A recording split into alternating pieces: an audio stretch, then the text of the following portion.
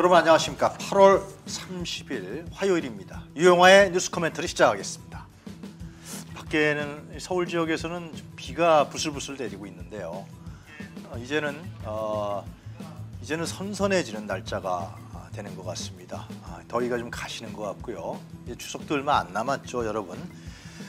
하여튼 이제 가을이 다가오고 있는데요. 어, 우리 대한민국 호는 지금 어디로 가고 있는지 우리 국민의 삶과 행복을 위해서 가고 있는 것인지 아니면 국민의 삶을 파괴하고 가고 있는 것인지 우리가 주목해 봐야 될 것 같고요. 유용한 어, 뉴스 커멘터리 시간에는 항상 우리 국민의 삶이 국민의 생활이 제대로 순항하고 있는지 저희들이 얘기를 하고 또 문제가 있으면 지적을 하고 어, 그리고 함께 나아갈 생각을 하겠습니다. 어, 오늘 순서도 마찬가지로 어, 커뮤니티 뉴스에서 제가 몇 가지를 다뤄드리고요. 그 다음에 여러분들이 기다리고 계시는 박상병의 뉴스 클래스. 박상병의 뉴스 클래스에서는 음, 어, 취임식 명단 이게 굉장히 중요하죠. 왜냐하면 김건희 씨가 관련돼 있기 때문에 굉장히 중요한데요. 이 문제. 그 다음에 어, 여당 상황. 콩가루 집안으로 달려가고 있는 여당 상황. 어, 저희가 한번 다뤄볼 생각입니다. 그리고 일본 언론을 우리 박상면 박사님이 쭉 훑고 나오셨는데요. 일본에서 이재명 당대표가 된 거에 대해서 굉장히 걱정합니다. 왜 걱정하는지 한번 들여다보도록 하겠습니다. 다음 순서 9번기의 생활경제에서는 국유재산 매각, 나라 땅 팔아먹는 기재부, 모피아 기재부들의 행태와 그 내용이 무엇인지 좀 구체적으로 왜 그러는지, 어떤 땅을 팔아먹으려고 하는지, 그리고 그 땅은 누구에게 팔아먹으려고 하는지 그 부담은 결국 누구한테 오는 것인지 자세하게 살펴보도록 하겠습니다. 자, 많은 분들이 이제 벌써 들어오셔서 어, 김명희님, 포비님, 나이스예스님 어제도 동접적 동접자 수가 상당히 올라갔는데 오늘도 많은 분들이 들어오셔서 채팅 부탁드리고 의견 부탁드리고 어, 여론을 공론화시키길 기대하겠습니다. 코멘트 뉴스 들어가기 전에 주요 뉴스 몇 가지만 제가 살펴보겠습니다. 이 미국뿐만이 아니고 영국 주간지 이코노미스트에서도 상당히 윤석열 대통령을 신랄하게 비판했고요. 미국의 언론도 계속해서 미국의 짐이다 뭐 그런 얘기까지 하고 그랬었는데요. 독일과 스위스 언론에서도 이 윤석열 대통령에 대한 비판이 거셉니다. 이 유럽에서도 어, 윤석열 대통령에 대해서 상당히 평가가 인색하고요. 아 인색하다는 표현은 이상하고요. 굉장히 문제가 심각하다라고 보고 있는 것 같습니다.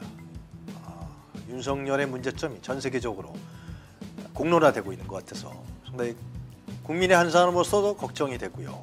이 난국을 과연 어떻게 우리 대한민국 국민들이 헤쳐나갈 것인지 상당히 우려되는 대목입니다. 독일의 쥐트 도이치 차이퉁에서는 윤석열 남맥상이라고 그랬습니다. 깊은 수렁에 빠진 신참이다. 또 이 보도를 스위스의 데어문트나 베라나 차이퉁에서도 그대로 온라인 기사면에 보도했습니다. 자, 이것은 뭐냐 하면 결국은요. 이렇게 되면 미국과 서구 언론에서 윤석열 정부에 대한 문제점, 특히 국내발 코리아 헤럴드라든가 이런 데 인용하면서 상당히 윤석열 대통령이 지지율이 떨어지고 그 부분을 극복하지 못하고 있다라는 이러한 부분은 결국 대한민국 국격이 떨어지는 결과가 이루어집니다.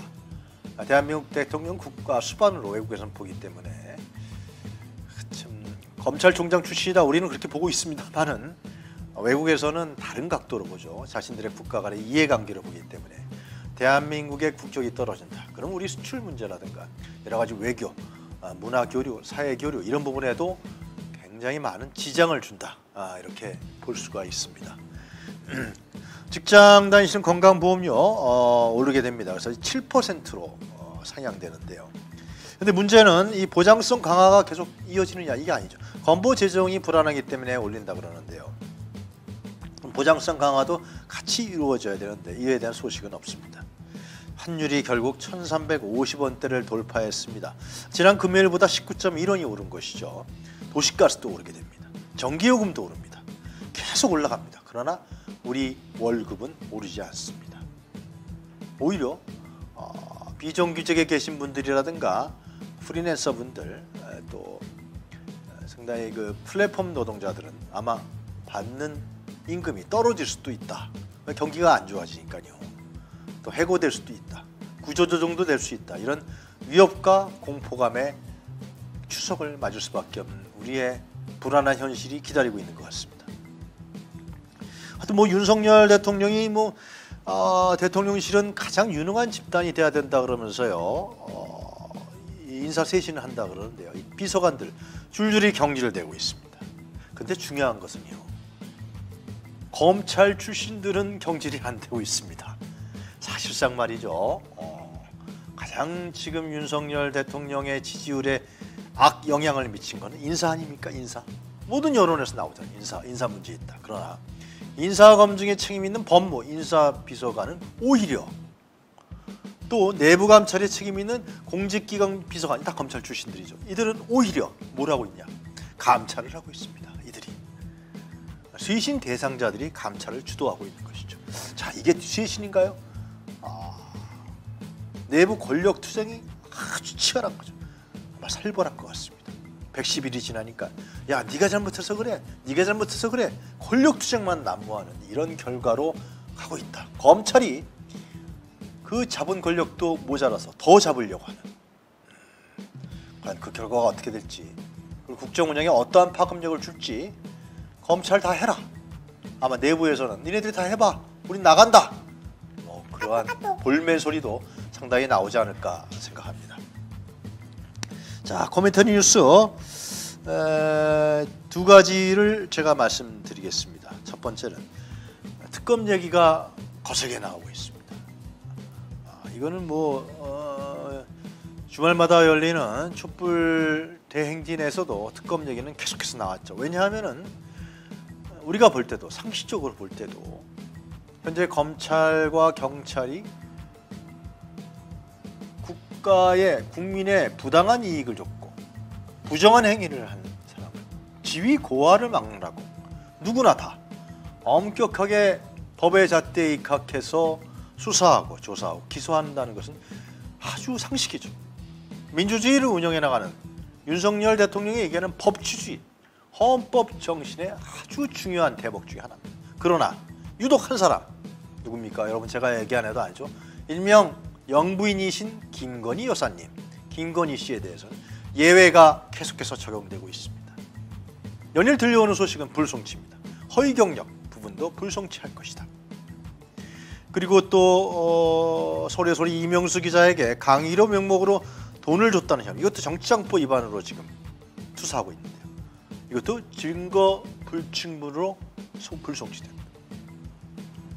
또 장모 최은순 잔액 증명서 위조 사건 공범입니다. 이것도 불송치. 어, 하여튼 불송치 부인인 것 같습니다. 별명이 하나 붙겠어요.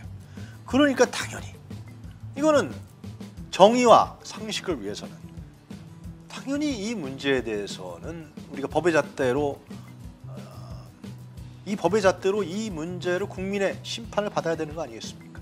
왜 다른 사람들은 모든 사람들은 범죄 혐의가 있다 그러면 검찰에서 경찰에서 샅샅이 뒤져서 기소하고 구속하고 법원에 심판대에 올리는데 왜 유독 영부인이라는 이름으로 이 문제가 계속해서 불송치가 나오는 겁니까?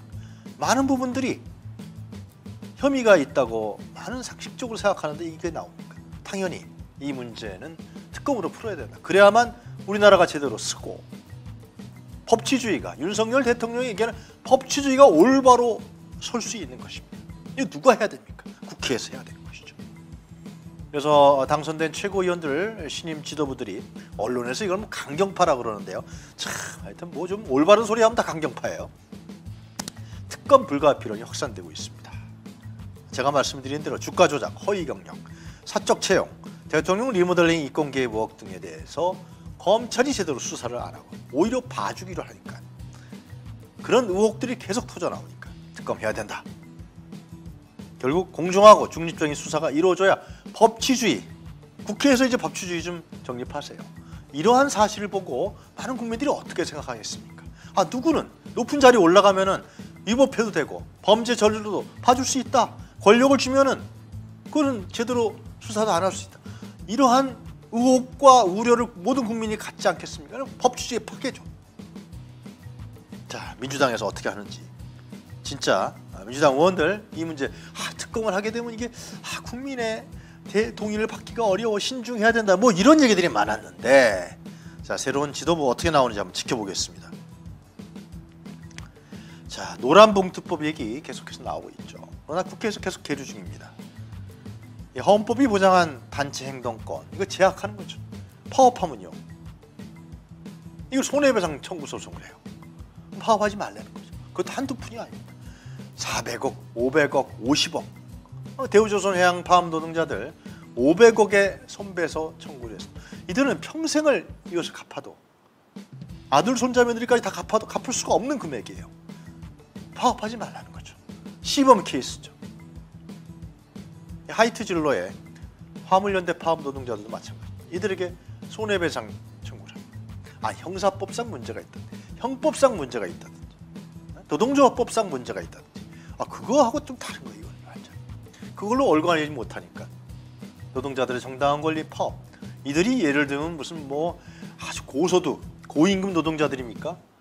최저임금에 준하는 임금을 받는데 진짜 너무 힘드니까 좀더 달라고 임금 삭감된 거 좀 더 달라고 어, 기름값 올라갔으니까 더 인상해 달라고 이러고 있는데 이 문제에 대해서 협상을 통해서 이들의 생존권을 어느 정도 보장해서 어, 제대로 생산 라인 또 운송 라인이 돌아갈 수 있게 한다는 합리적인 생각보다도 손해배상 청구를 하면서 파업하지 마.